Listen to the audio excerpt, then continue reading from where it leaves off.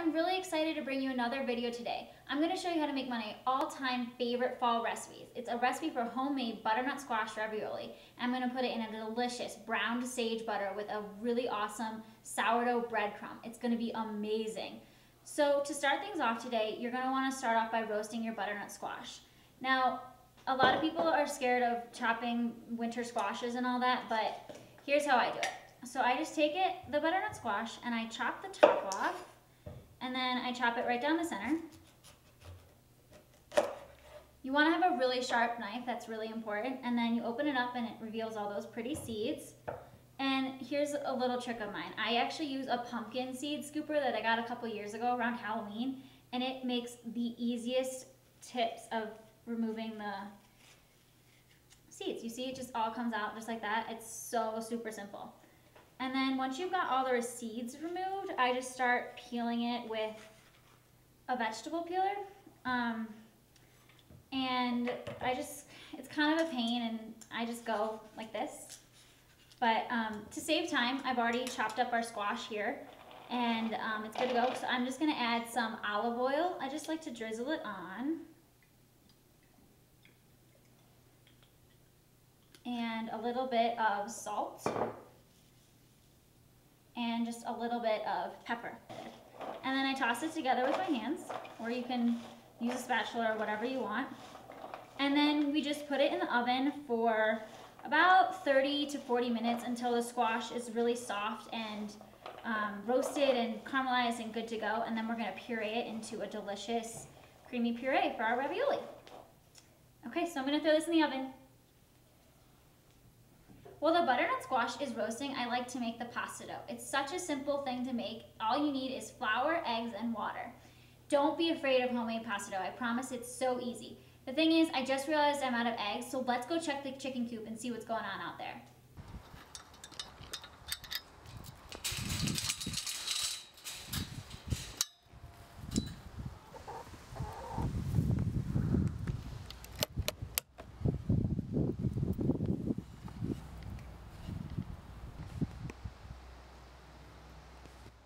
Okay, so now we're gonna start to make the pasta dough. It's really easy, like I said.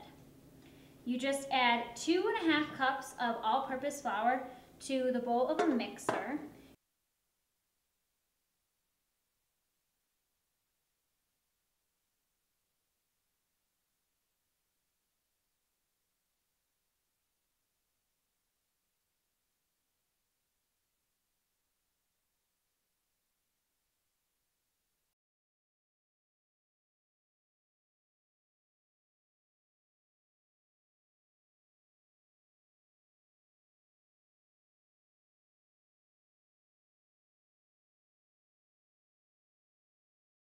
This is actually a little bit wet, but that's okay because you can just add flour and kind of fix that.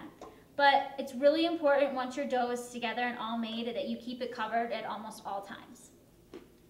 Okay, so now that we've got our dough all prepped and ready to go, it's time to make the filling for the pasta. My butternut squash is done roasting, so I'm just gonna add it right to my food processor. And over here I have all my cheeses. This is a butternut squash cheese ravioli, so the cheese is really important. Um, I have some drunken goat cheese, which is like one of my all-time favorite cheeses right now. Just crumble it up kind of and break it into smaller pieces as you add it to the food processor. I also have a little bit of gorgonzola. Um, I know that some people are iffy about their blue cheeses. I personally love it, so I'm adding around two ounces of that. And you also need some Parmesan. You need about half a cup of freshly grated Parmesan cheese. And this may seem a little cheesy, but I promise it's so delicious. The more cheese, the better, if you ask me. So you need about a half a cup of Parmesan. You also need one egg.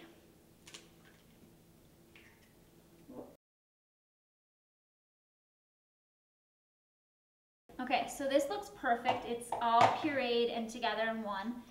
Now we're just gonna pop this off and we're kinda gonna set it aside for just a few minutes here. We're gonna get rid of the food processor and bring back in the KitchenAid. Now we're gonna get started rolling out the ravioli and actually filling them and getting into all that good stuff. So I also have this fancy little KitchenAid attachment here for my mixer that rolls out long sheets of pasta and I honestly use it all the time. But if you don't make pasta all the time, it's no big deal. You can definitely just roll this out by hand with a hand, you know, rolling pin.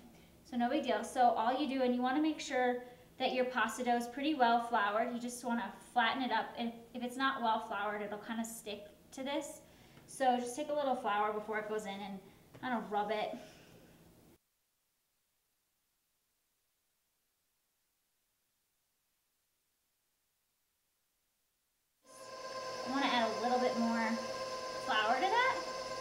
and then you fold it in thirds, kind of like a letter, and you feed it back through that first setting one more time. And then sometimes, if I feel like it, or I don't know, I'll do it again just to kind of get it a really nice, flat dough. And actually, my, my dough still feels a little bit uh, wet, so I'm just going to add a little bit more flour. And I'm going to feed it through that first setting one more time. And then basically all you do here is we're making really, we're gonna make one really long like lasagna sheet basically.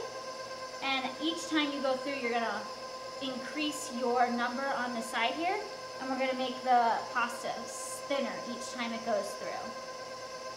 It's really simple, really easy, um, and it doesn't take much time either. Like when I'm making homemade lasagna, I'll make homemade lasagna sheets and I'll just, it's almost easier than boiling lasagna, I swear.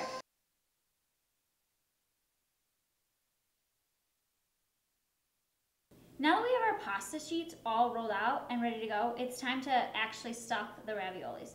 Flour your ravioli mold really, really well. And now we're just gonna grab the pasta and lay it down flat on the mold, making sure that it covers all of the, the entire surface of the mold basically. And then you kind of just lay the rest out. We're gonna fold that over in the end. And then you just grab your filling right here and you just scoop it right into the mold.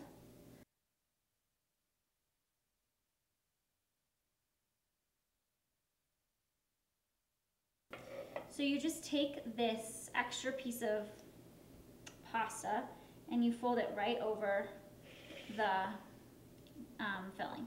And then I just like to press down, kind of get any of that air out and start to seal the ravioli themselves. You want to seal the filling into the raviolis. I use this little tool. You can use a rolling pin, you can just use your hands, and I just kind of go back and forth in between the raviolis.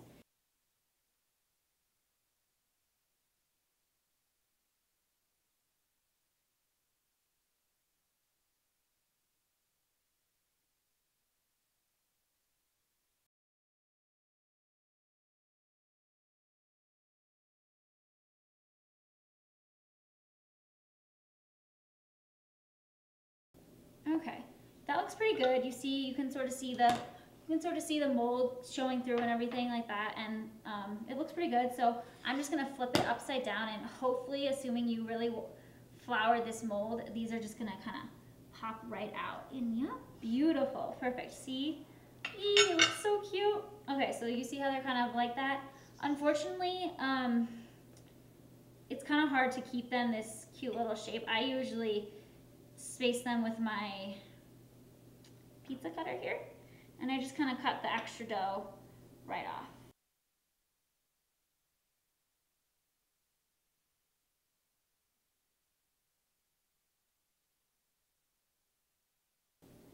And then once you're done making all the ravioli, it's time to kind of boil the water and start making that sauce. So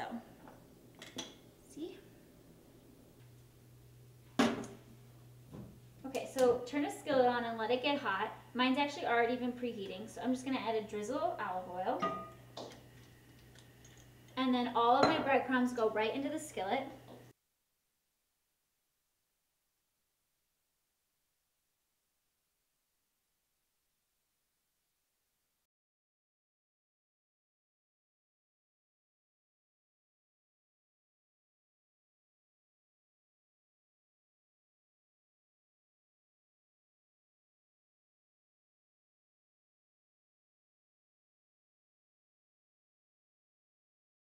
What we're gonna do now is we're gonna add some fresh oregano.